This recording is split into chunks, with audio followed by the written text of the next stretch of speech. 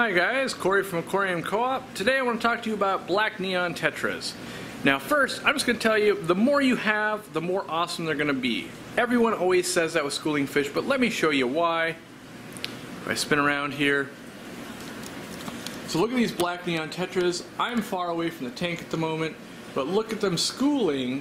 They actually are doing their behavior and schooling around as opposed to, you know, just doing, sitting there. And that's what schooling fish do when you have them in a large quantity. Yes, there's like a hundred or more in there.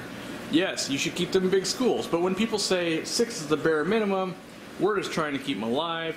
This fish, super duper hardy. They tend to be cheap at a couple bucks to three bucks. They do get a little bit larger, which is nice. They tend not to get eaten by angelfish and stuff like that. They can be interactive in bigger groups, you know, so they will school around and do their thing. They actually look good against a planted background because they've got the black and that stripe across them. They tend to stand out really well.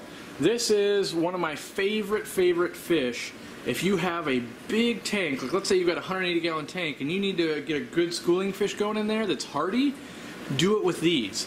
Or let's say you want to mix these with uh, Geophagus or other decent sized cichlids that aren't super aggressive. These work out amazing. Other angels, stuff like that. These are, in my opinion, an unsung hero. Uh, they've got that nice little red eye. They'll tolerate a huge amount of difference in water parameters. You know, I would say in general, keep them neutral, keep neutral hardness, and keep them roughly at 78, but they'll tolerate a huge range on either side and temperature and hardness. They're just one of the hardiest fish. If I was to recommend a fish you're starting an aquarium with, these guys are them. Super duper hardy. They ship really well in case you have to ship them in. They're easy to find. They're not a rare fish. Most stores will carry them because they know they're super hardy and they do well.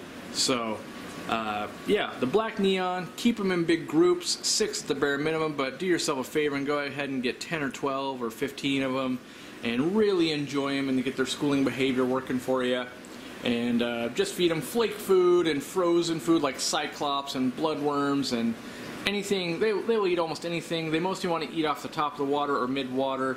Uh, off the bottom, they'll do it if they're really hungry, but we don't really want to force them to do that. So there you go, the black neon tetra. Just wanted to show you what they do in a big school and give you a reason why we always say the more you have, the more you'll enjoy this fish. So if you enjoyed this video, go ahead and like it. Uh, if you want to see more videos or educational, whether it's about species or plants uh, or how to make something, go ahead and subscribe and we'll see you in the next video.